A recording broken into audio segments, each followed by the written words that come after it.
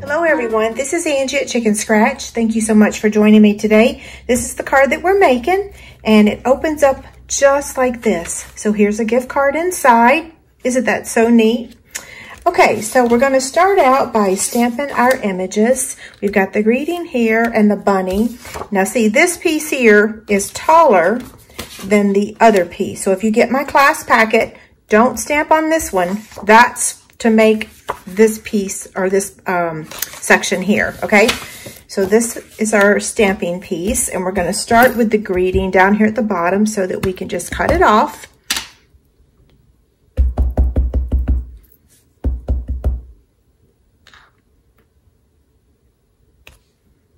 Okay, it's a little faint. Let's try one more time.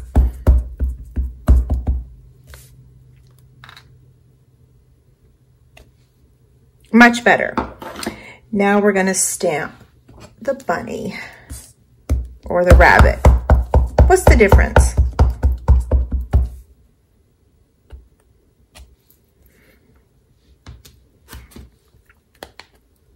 Now we're going to be stamping that again on the inside of our card, but for now we're just working on the outside. I'm using Pool Party and Polished Pink, and um, I'm going to start with the light um, Polished Pink. So y'all know how I've been trying to figure out how in the world to remember this pink color because I keep wanting to call it uh, Positively Pink, but it's Polished Pink. And I finally found a way to remember And it's that I always have polish on my nails. I'm a nail person. Uh, and I'm like, okay, polish on my nails, polished pink. And it worked because just now I said polished pink. It's the little things. What can I say? Okay, so maybe that tip will help y'all. I don't know. You have to find something that you can relate to to remember stuff. I remember when I first joined Rutro. Grr. Um, see, I shouldn't have been talking. I got ink on, on the outside of his shirt. Um, wrong thing. I want the color Lister. Um, when I first joined, I was like, how am I ever going to remember all these names? It didn't take long. Plus, they're such cute names, right?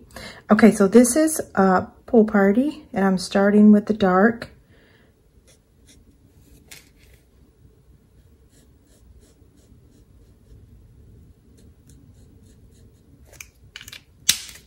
And now the light.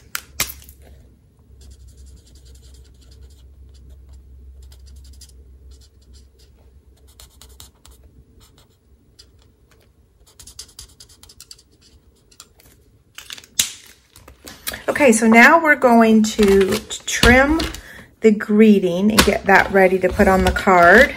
Whoops, that was my scoring blade. Okay, so I've trimmed. Oh, I need to replace my blade.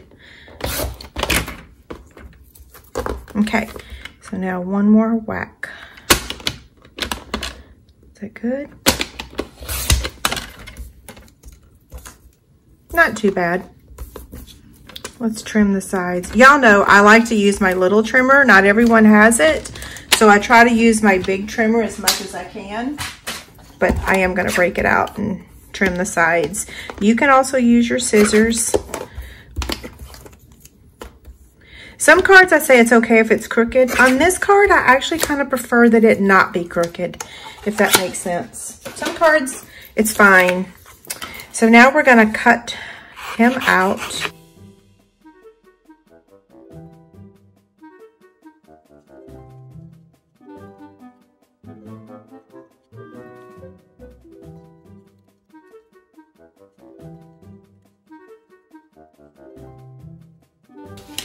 So now I'm taking my thick basic white cardstock and then we're going to score this at five and a half inches. So just like our standard card. I'm gonna use my bone folder. Now I'm gonna go ahead and stamp my images on the inside. So we'll start with the bunny. And then the greeting.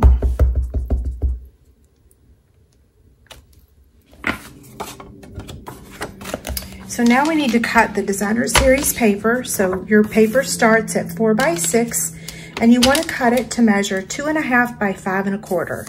So two and a half by five and a quarter.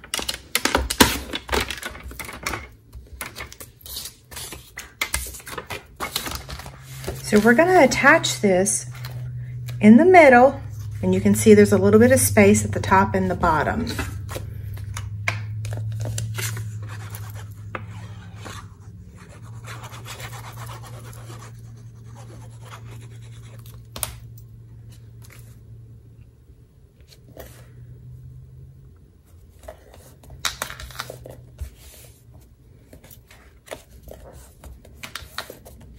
Okay, so we're gonna set all this aside now and we want to emboss this layer. So there's that. This is the Whimsical Woodland Embossing Folder. Isn't it beautiful? So whimsy. So I'm gonna open this up and place my polished pink paper in there. And then I'm gonna get my die cut machine. So after we emboss it, then we're going to cut the circle out, okay?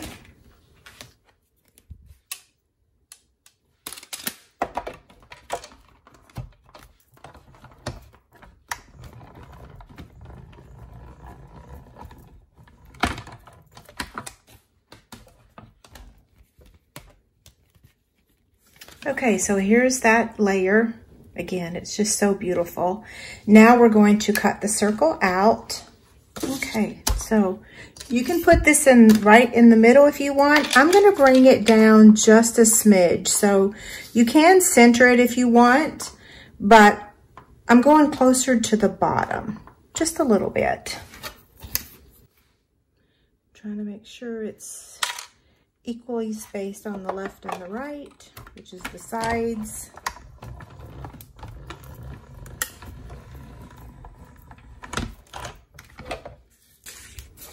And here's that layer. You can use this for a future project. Okay, so now we're gonna add this layer right on the front, just like that, and we're gonna use Stampin' Dimensionals in the corners. So one here, here, here, and here. And I am gonna add another one on the top, but not the bottom, okay?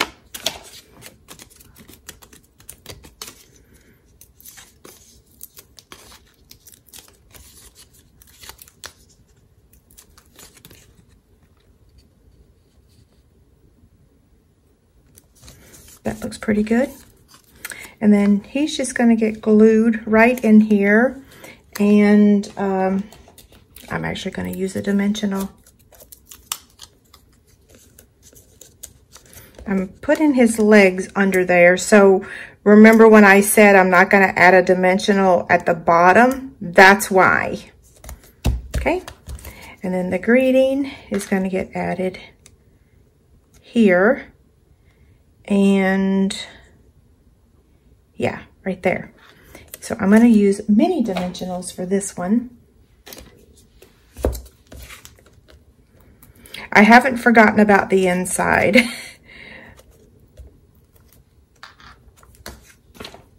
and you can also, uh, talking about the inside, you could also use designer series paper to make that pop-up um, thingy. Don't know what it's called. Um, I'm just using basic white cardstock, but your packet, if you get the class packet, it has lots of um, extra paper in there. So you can use your paper to make that gift card holder. So I'm tying a bow.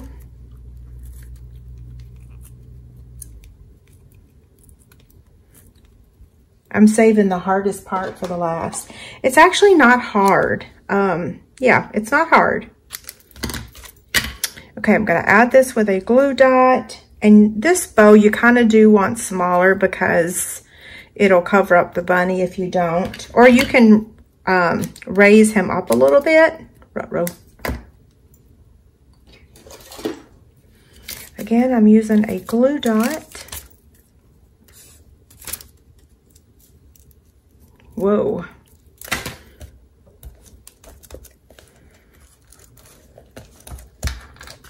There we go.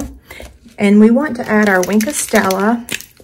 And you can't, you can't really see it on video, but it looks so cute in person. You just kind of have to angle it to see it. And I am running out of Wink of Stella. It's on low inventory right now on the Stampin' Up website, so I'm conserving. Okay, so let's make the gift card holder. So we're gonna get the Simply Scored scoring tool out again. This piece measures four and an eighth by six, and we're gonna score it at a half an inch, one and a quarter, one and three quarters, two and a half, three and a half, four and a quarter, four and three quarters, and five and a half. That's a whole lot of lines, isn't it? So we're gonna fold on all of those score lines and burnish with our bone folder. I'm laughing because when I first uh, made this card, I was like, oh goodness gracious, that cannot be right. That's so many lines. Uh, but it is right.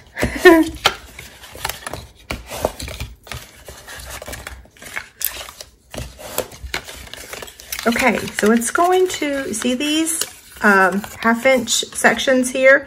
They are going to fold like that. And then it's gonna look like that, okay? So this is our actual box. So now we just need to use our adhesive. So we're gonna fold this down. So I'm gonna add, let me use my uh, Stampin' Seal Plus. It's a little bit quicker. I say that. I'm going to get it started.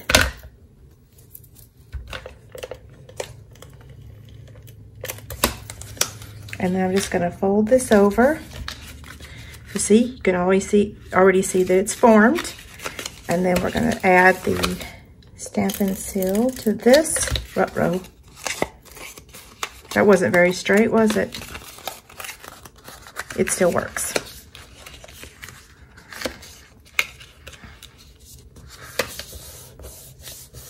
So that's how it's gonna look right now, okay?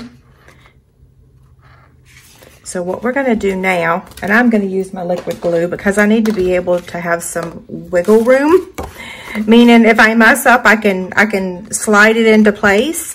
So I'm gonna take my liquid glue and add it to the bottom. So this is the opening, flip it upside down and add your liquid glue and we just want to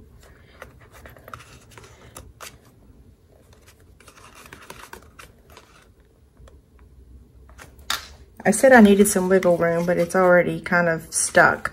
So I, ideally you want equal space between this side and this side, okay? And then now we want to add adhesive to that piece. So we're gonna bring this up and just hold that and let that dry.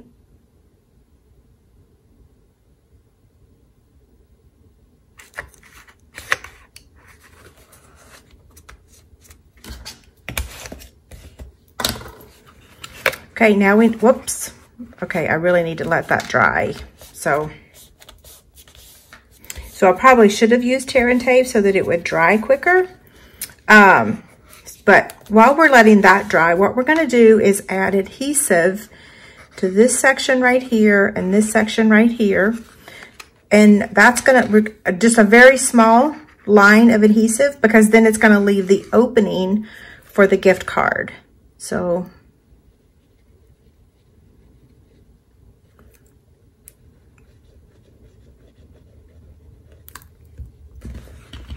And I'm just gonna fold this up and just hold it.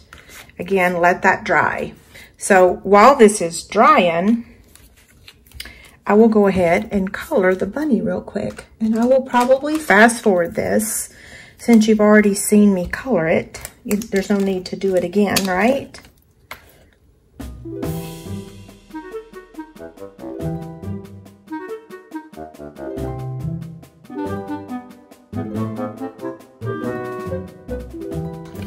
Okay, so let's see if this is working. We're gonna fold it.